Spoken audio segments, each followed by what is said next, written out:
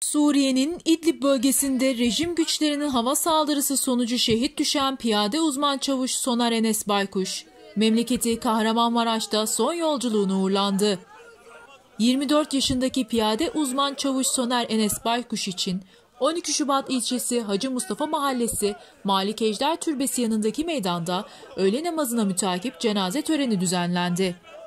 Törende şehidin 6 aylık hamile olduğu öğrenilen eşi Ayşe, babası Ali, annesi Zeynep, kardeşleri Onur ve Furkan Baykuş ayakta durmakta güçlük çekti. Şehidin yakınları ise gözyaşlarına hakim olamadı. İl müftüsü Celal Sürgeç tarafından kıldırılan namazın ardından şehidin cenazesi dualarla mahalle mezarlığına defnedildi.